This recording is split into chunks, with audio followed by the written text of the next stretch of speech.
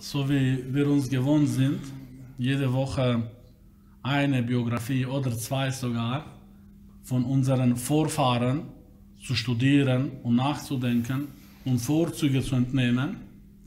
Heute nehmen wir eine, zwei Biografien, kurze Biografien. Die eine ist von Sa'id ibn Jubair. Sa'id ibn Jubair, Imam al-Zahabi sagte über diesen Mann, الإمام الحافظ المفسر أحد الأعلام الله أكبر الذهبي sagt über diesen Mann, er ist ein Imam, ein Hafiz, ein Mufassir, der den Koran erklärt und einer von den Sternen des Islam. Sa'id ibn Jubair. Sa'id ibn Jubair, er traf vielen von den Sahaba des Gesandten sallallahu alaihi wasallam. Und am meisten nahm er Wissen von wem? Von Abdullah ibn Abbas, radiyallahu an, wa radiyallahu anhuma. Sa'id ibn Jubair lernte am meisten Wissen von Abdullah ibn Abbas, von diesem Turjuman al-Quran. Das heißt, einer von den bekanntesten unter Sahaba und von den besten und vorzüglichsten Erklärer der Koran, für den der Gesandte sallallahu Dua machte, dass Allah ihm die Deutung des Koran lehrt, Abdullah ibn Abbas, der Cousin vom Prophet Muhammad sallallahu alaihi wasallam. Sa'id ibn Jubair nahm am meisten von ihm Wissen. Dieser Sa'id ibn Jubair, er hatte eine Gückel. Ein Gückel, oder? Ein Hahn. Ein Hahn hat er. Dieser Hahn, er, krä, er tut krähen, oder? Krähen nennt sich diese, dieses Verb. Abdullah, was meinst? Er kräht in der Nacht. Mit diesem Krähen, durch seine Stimme, wachte Sa'id ibn Jubair in der Nacht, um Nachtsgebet zu verrichten. Nicht Fajr-Gebet, nicht Morgengebet, Sabach-Gebet, nicht Nachtsgebet, meine Lieben. Nachtsgebet. Sa'id ibn Jubair, er wusste, sein Hahn, er wird krähen und dann ist Zaidani schon vor Fajr, er kann aufstehen, ab das Wudu nehmen und dann betet er Nachtsgebet, freiwilliges Nachtsgebet. Eines Nachts, seine Stimme verging ihm. Er hörte seine Stimme nicht. Als Sa'id ibn Jubair aufstand für Fajr, dies fiel ihm schwer dass er dieser Nacht das Nachtsgebet verpasste. Allahu Akbar. Schaut, das sind Vorfahren, Bruder. Dann denen messen wir uns. Nicht an irgendwelchen Psychopathen im Internet, die sich mit Bärte zeigen bis hier und mit kurzen Hosen und dann sagen, das ist Islam. Wallah, diese Menschen wurden gestellt zum Islam, zum Schaden, im Namen des Islam. Das waren Muslime. Ihm fiel schwer, schwer das er nicht das Nachtsgebet verrichtete. So machte er Dua gegen sein Hahn. Er sagte, was ist mit ihm los? Möge Allah ihm die Stimme vergehen lassen. Und dann sagten die, die Mitbewohner von Said ibn Jubair, nie wurde mehr seine Stimme gehört. Allah hat ihn die Dua erhört. Von Said ibn Jubair. Said ibn Jubair, schaut, er betrat die Kaaba er betrat die Kaaba in Mekka und betete zwei Reka. Er las der ganze Koran in einer Reka. Er las der ganze Koran in einer Reka. Und andere Überlieferung in diese zwei Rekat. Also diese Kaliber ist gewaltig, Bruder.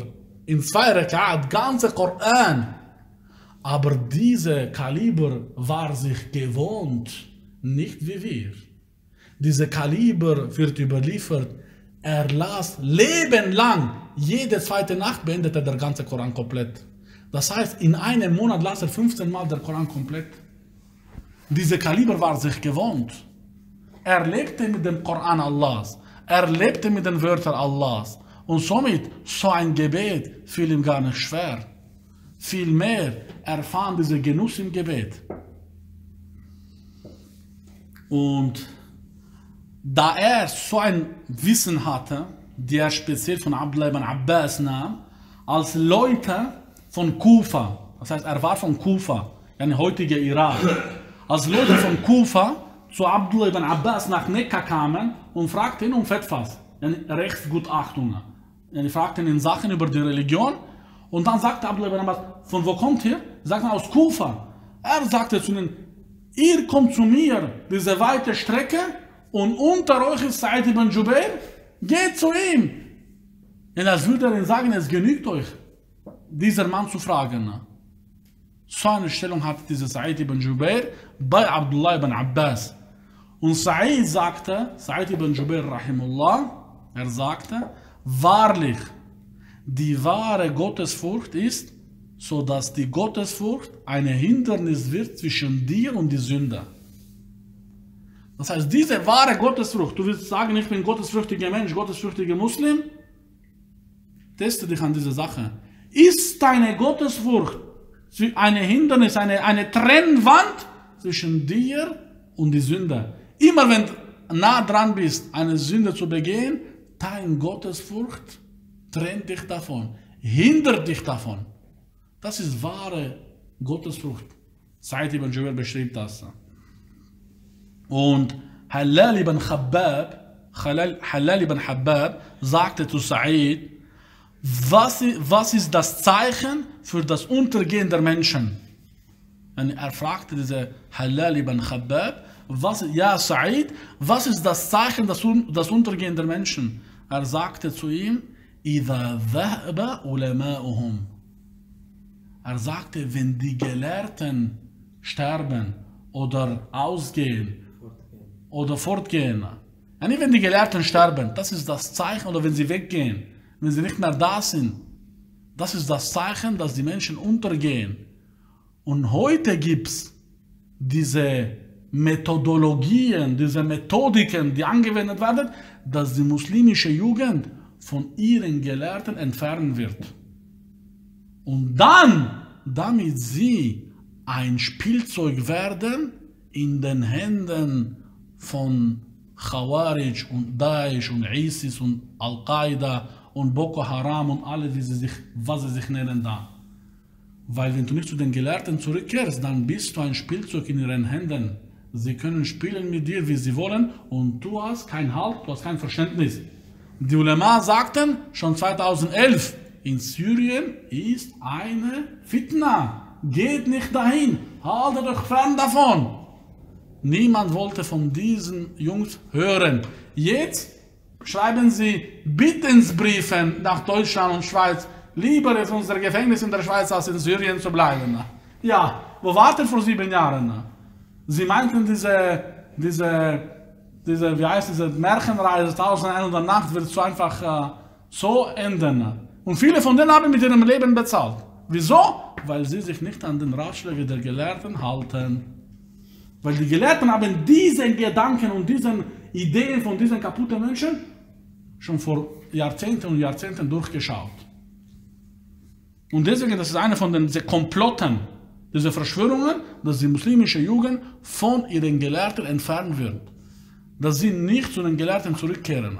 Dann können sie mit ihnen spielen, was sie wollen und wie sie wollen. Sa'id ibn Jubair schrieb einen Brief in diesem Brief einen Ratschlag, eine Ermahnung zu einem seiner Freunden. Er sagte zu ihm, das Bestehen am Leben der Muslim, das Bestehen am Leben, jeder Tag ist eine Beute für ihn. Viele der Muslime, sogar die meisten, unterschätzen eine Angelegenheit, eine gewaltige Angelegenheit. Tawhidullah. Der Tawhid von Allah subhanahu wa ta'ala. Das Vereinzigen Allah subhanahu wa ta'ala dass du aufstehst am Morgen und du stehst auf als Muwahid, als Monotheist. Du betest Allah einzig und allein, ohne ihm etwas zu beigesellen. Schon dies eine gewaltige Beute für dich. Du befindest dich in einer gewaltigen Gabe, schon dass du aufstehst als Muwahid. Es genügt schon, dass dieser Tag als Beute für dich war. Als Nutzen für Yomul Qiyamah. Und geschweige indem du betest dann und die ganzen und Ramadan und Fasten und und und und guten Taten, all das ist Licht aufs Licht. Nur ala Nur.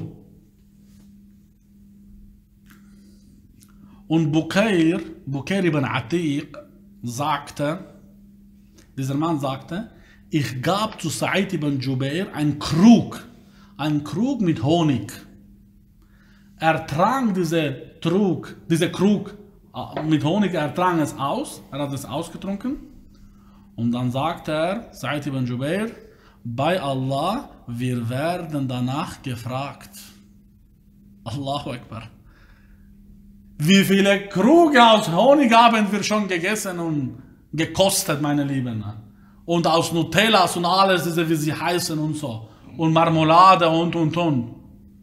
Dieser Mann, einmal kostet so ein Krug aus Honig. Und dieser Mann sagt, wahrlich, wir werden danach gefragt. Das heißt, wir werden ja zur Rechenschaft gezogen bei Allah subhanahu wa ta'ala am Tag des Auferweckens. Allahu Akbar. Dieser Mann sagte zu ihm, äh, und wieso? Weil er war verwundert von dieser Kaliber, von dieser yani, Gottesfrucht dieser Mensch. Er sagte zu ihm, yani Sa'id ibn Jubair, ich trinkte davon mit Genuss und lustvoller. Da ich ja nicht, ich habe es getrunken, diese Honig, lustvoll und Genuss. Wie viele Sachen machen wir mit Genuss und lustvoll, meine Lieben? Und wir machen uns keinen Kopf darüber. Jedoch dieser Männer, einmal hat er Gelegenheit und dann hat er schon Angst, dass er bei Allah subhanahu wa ta'ala zur Rechenschaft gezogen werden. Und auch der Gesandte sallallahu alaihi wasallam, dieser Mann hat Vorfahren und der beste Salaf ist Salaf Muhammad sallallahu alaihi wasallam. Er sagte, der Gesandte wurde einmal eingeladen und dann gab es Fleisch, Brot und Wasser. Fleisch, Brot und Wasser. Und der Prophet sagte, wir werden danach gefragt am Yom al-Qiyamah. Und schaut, jetzt sollte sich jeder überlegen, wie unsere, unsere Esstisch aussehen. Allahu Akbar. Und Sa'id, Sa'id ibn Jubair, rahimahullah, er sagte, ich kam zu Ibn Abbas, zu Abdullah ibn Abbas, ich kam zu ihm. So schrieb ich, so schrieb ich in meinem Heft, bis sie voll wurde. Das heißt, er trug mit sich ein Heft. Das ist ein Anstand des Studenten des Wissens, dass er ein Heft mit sich trägt, dass er Sachen da verzeichnet und niederschreibt. So waren unsere Vorfahren und unsere Gelehrten. Das heißt, er trug ein Heft. Er schrieb dieses Heft voll. Er hatte keinen Platz mehr. Jedoch dieses Meer, El Habar, El Bahar, Abdullah ibn Abbas, hört nicht auf. Sein Proviant ist gewaltig. Denn er lernte bei Muhammad sallallahu alaihi wasallam. Und dieser Abdullah ibn Abbas debattierte mit den Khawarij, als er sie zerrüttelte und zerfetzte ihren Regeln, ihren kaputten Regeln, die sie hatten. Er sagte dann Sa'id ibn Jubair, dann schrieb ich auf meinen Schuhen, Schuhe, auf, auf den Schuhen schreiben, voll ausgeschrieben, die ganzen Schuhe. Wieso? Er hatte keine andere Wahl. Er hatte nicht eine Sache zum Aufnehmen, nein. Er schrieb alles auf seine Schuhe. Und wenn die Schuhe voll geworden sind, sein Heft war voll, seine Schuhe sind voll, dann schrieb er auf seine Hände. Schau diese Bestrebigkeit nach Wissen, diese eine Liebe zum Wissen. Deswegen diese Männer wurden so groß im Wissen. Nicht mit Schlafen und mit ruhigem Körper. Nein. La yanalu al-ilm birahat al-jasad. Das Wissen wird nicht erreicht mit erholtem Körper. Niemals. Die Salaf sagten, sagten, du wirst nicht die, das Süße des Wissens schmecken, bis du hungrig wirst und du danach weiter nach Wissen strebst und durch dein Wissen streben, durch, dadurch, dass du nach Wissen strebst, vergisst du deine, Hungrig, deine Hunger. Schau diese gewaltigen Menschen. Das heißt, du wirst nicht die Süße des Wissens schmecken, bis du mal hungrig wirst und da du so viel beschäftigt wirst, wirst, wirst, bist nach Wissen, du vergisst, dass du hungrig warst. Und das sind Beispiele bei der Abu Zur'a und Abu Hatim. Sie sagten, sie gingen an Markt vorbei und kauften sich einen Fisch. Und dann ließen sie den Fisch ja nicht braten. Jedoch wurde gesagt, ein Alim ist gerade beim Unterricht. Sie lassen den Tisch, sie haben den Fisch gelassen auf dem, auf die, auf die, in die Bratpfanne, drei Tage lang. Als sie zurückkamen, war das alles verbrannt. Wieso? Weil ihnen wichtiger war, und sie fanden yani, die Süße äh, der Iman bei den Gelehrten beim Wissensrunden als bei den Restaurants oder Esstische und, und so weiter. Ihr müsst nicht meinen, meine Lieben, diese Religion wurde verbreitet, weil die Muslime so reich waren. Nein. Heute sind die Muslime viel reicher als damals zur Zeit von Prophet Muhammad und Sahaba. Jedoch, sie verbreiten nicht ihre Religion. Wieso? Sie praktizieren nicht ihre Religion. Sie sind nicht Beispiele für diese Religion. Und Sahaba hatten, waren arm in so einem Zustand, jedoch diese Religion wurde verbreitet bis Spanien. Und innerhalb von 30 Jahren, innerhalb von 30 Jahren wurde bis nach Spanien. Nicht durch vieles Geld, nein, durch vieles Taten und Handeln und Aufrichtigkeit und Wahrhaftigkeit. Und Ali ibn Medini, dieser Großgelehrter von der Zeit der Salaf, er sagt, es gibt keinen unter der Gefährten ibn Abbas wie Sa'id ibn Jubair. Yani, dieser Abdullah ibn Abbas hatte hunderte von Schülern, wie Tawus und Ata. Das sind alles Bergen von Wissen. Er sagte, keine war wie Sa'id ibn Jubair. Und eine von den großen Salaf ist Sha'bi. Sha'bi Amir ibn Sharahil. Sha'bi Amir ibn Sharahil. الذهب رحمه الله sagt über ihn, er ist Al-Imam, Alamatul Asr. Er ist der Imam, er ist der Alama in seiner Zeit, Alama der Großgelehrte in seiner Zeit, Sha'bi. Er sagte, dieser Imam Sha'bi, ich erreichte 500 von den Gefährten des Gesandten sallallahu alaihi. Ich erreichte 500 von den Gefährten des Gesandten sallallahu alaihi. Und das ist ein Vorzug, Bruder dass du die Propheten, sallam, dass du die Gefährten des Propheten Muhammad sallam, siehst, das ist ein Riesenvorzug. Du siehst die Augen, die Augen, die Muhammad sallam, gesehen haben. Diesen Augen haben Muhammad sallam, gesehen. Du siehst diesen Augen. Das ist gewaltig. Und das ist etwas, was vorzüglich ist, was lobenswert im Islam ist. Dass du die Gefährten des Gesandten sallam, erreichst und er hatte diese Ehre. Sha'bi, rahimullah, sagte, keiner, keiner von meinen Verwandten, das ist, hört euch ganz zu, das ist Islam, Bruder. Keiner von meinen Verwandten starb, er ist gestorben, und er hatte Schulden, außer habe ich seine Schulden beglichen. Verwandte, nicht so von meinen Kindern und so, Verwandte. Hunderte von Verwandten, er sagt, keiner von meinen Verwandten ist gestorben, und er hatte Schulden, außer habe ich seine Schulden beglichen. Das ist eben diese Liebe für Allah. Und ich sage, nein, dieser Verwandte war, hat mir nie was genutzt im Leben, was soll ich ihm jetzt helfen? Soll er selber schauen oder seine Kinder? Nein. Dieser Mann beglichte die Schulden seiner Verwandten. Das ist ein Salaf, das ist Stufe.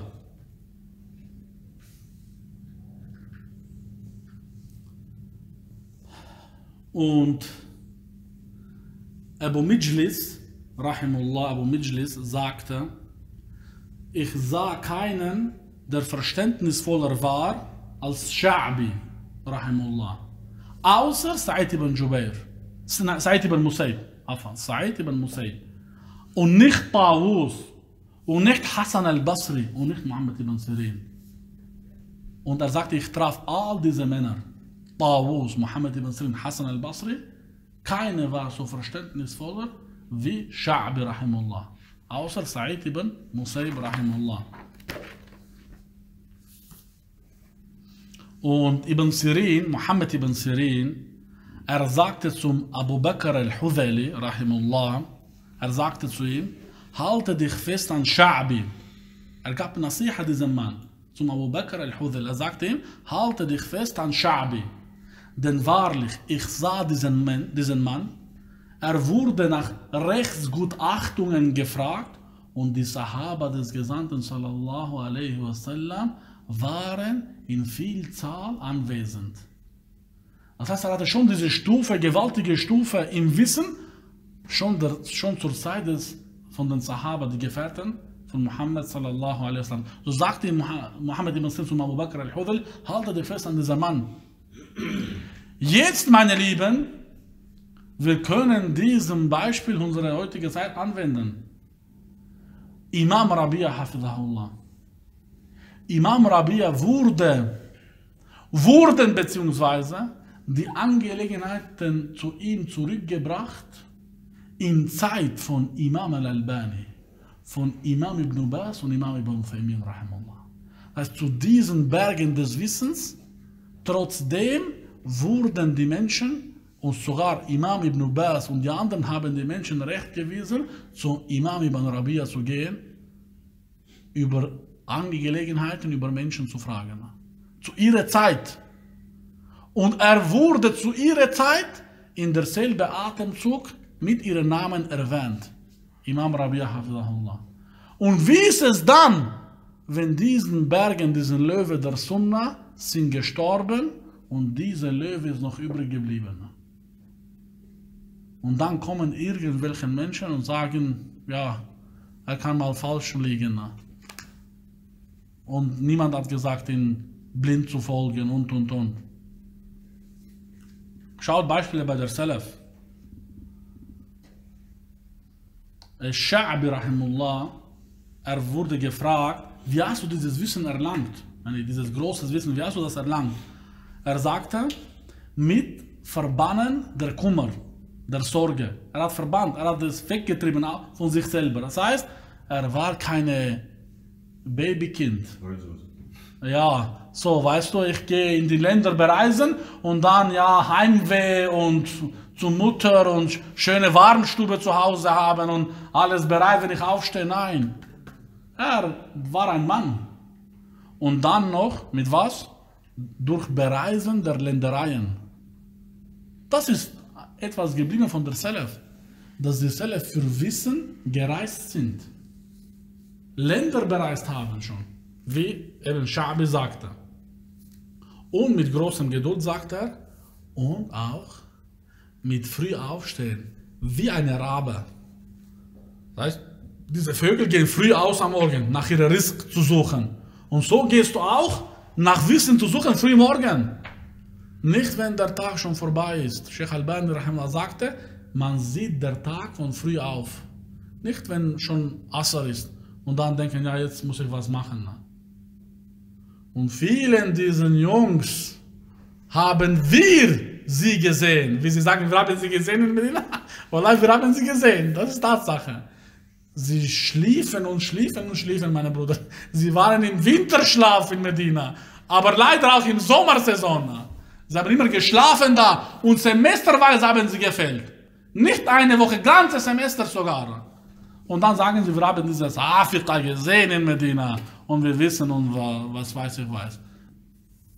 Sha'bi rahimullah, er sagte, ich erreichte 500 von den Sahaba des Gesandten sallallahu alaihi wasallam. 500.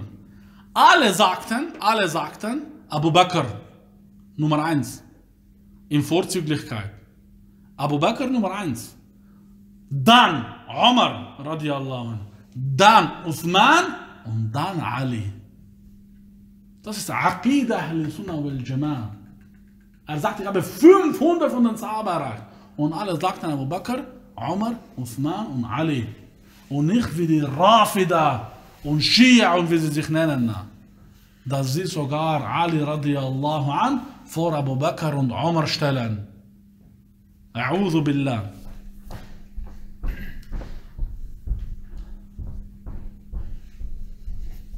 Und Imam Sha'bi rahimullah, er sagte, ich schrieb, ich habe es bis heute, nicht das Schwarze auf dem Weißen geschrieben.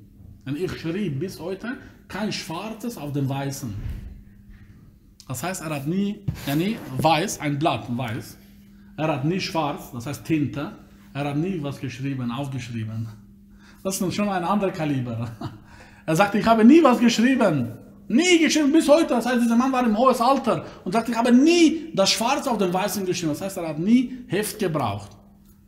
Und er sagt, ich habe es niemals von einem Mensch ein Hadith gehört, außer ich lernte es auswendig. Und ich hasste es, dass dieser Mann mir zweimal der Hadith wiederholt. Er sagt, ich hasste es. Schau diese Memorie. die dieser Mann besitzt. Er sagt, ich hasse es, dass jemand mir zweimal der Hadith wiederholt. Schon beim ersten Mal kann ich schon auswendig. Und Imam Shabi Rahman sagte, ich, verga, ich vergaß vom Wissen so viel, hätte jemand dieses vergessenes Wissen von mir gelernt, wäre ein Alim geworden. Er sagt, ja. Er hat so viel an Wissen vergessen, sagte, hätte jemand nur dieses vergessene Wissen von ihm gelernt, wäre ein Alim geworden. Das waren Menschenbruder, das sind Vorbilder da.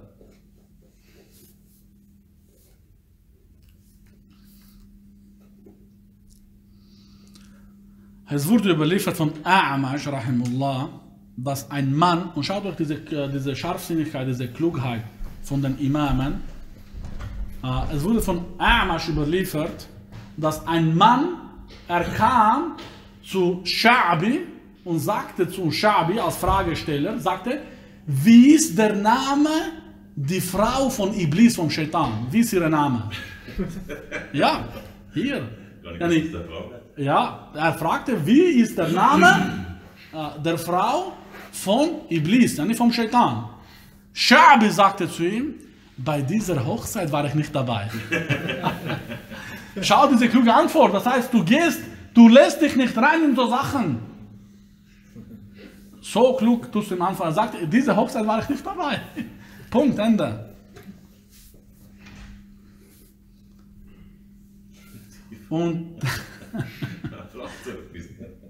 und Sha'bi rahimullah, er sagte wahrlich, die Gelüsten wurden Gelüsten genannt, weil sie die Folge dieser Gelüsten führen. Das heißt, die Gelüste wurden Gelüsten genannt, weil sie die Folger, diejenigen, die ihre Gelüste folgen, sie führen, wo sie wollen. Der, Mensch wird durch seine Gelüste geführt, deswegen wurden diese Sachen Gelüste, Gelüste genannt. Yani Hawa. Yani Hawa wurde genannt, weil durch die, yani diese Gelüste wird der Mensch geführt. Seine Gelüste sind sozusagen wie ein, sein Motor, die ihn führen. Yani er handelt nicht vernünftig. Er, ja, genau. Er richtet sich nach seinen Gelüsten. Deswegen wurden sie Hawa, yani Gelüste genannt. Und zum Schluss, für die Ende, sagte Sha'bi Rahimullah, dieser Imam, der 500 von den Sahaba traf, er sagte, ich weiß es nicht, ist die Hälfte des Wissens. Ich weiß es nicht, ist die Hälfte des Wissens. Das heißt, es war von der Erziehungsart bei den Salaf, dass man sagt über Sachen, ich weiß es nicht. Weil Abdullah ibn Abbas, sein Lehrer, sein Meister, sagte, wenn du, wenn du findest jemanden, der für allen Sachen eine Antwort hat, er hat nicht alle Tasten im Kopf. Das ist, dann, das ist die Sache. Das heißt, und es ist nicht, und Hassan al-Basri rahimullah sagte, zur Zeit der Salaf, die erste Generation im Islam, wenn jemand sagt, ich weiß es nicht, seine Position wurde erhöht. Und heute, er sagte schon zur damaligen Zeit, wenn jemand sagt, ich weiß es nicht, er wird abgewertet. Yani, äh, nicht so gering geschätzt sogar. Und das ist nicht richtig. Der Alim oder derjenige, der Fetwa gefragt wird, er macht das dies für Allah, nicht für die Menschen. Auch wenn die Menschen denken, er ist der Unwissendste. Was nützt ihm das? Oder wenn sie denken, er ist der Wissendste, was nützt ihm das bei Allah? Er handelt mit Allah subhanahu wa ta'ala. Und wir haben in Medina so oft gehört, wie einigen sagten, ich kann mein ganzes Buch ausfüllen von Aussagen von Imam Malik, wo er sagt, ich weiß es nicht, ich weiß es nicht, ich weiß es nicht. Er kann ein ganzes Buch. Und auch Sheikh Abdul Muhsin al-Abbad, ich weiß es nicht. Aber die ganze Hojas und so bei uns, sie haben alle Fragen eine Antwort parat. Und diese Antworten sind manchmal total miserabel. Sie haben keinen Zusammenhang. Aber das Problem ist, weil die Menschen nicht mit Wissen erzogen wurden, egal was für ein Schrott rauslässt, sie meinen, wow, richtig Antwort gegeben. Das ist so. Wenn jemand nicht von einer, von einer Branche Ahnung hat und hört von jemandem ein bisschen Ahnung hat, er meint, wow, der kennt sich brutal aus. Aber wenn jemand kommen würde, der sich auskennt für diese Branche, er denkt, der ist ein Amateur da. هذا وصلى الله على نبينا وعلى آله وصحبه وسلم Barakallah. Fique.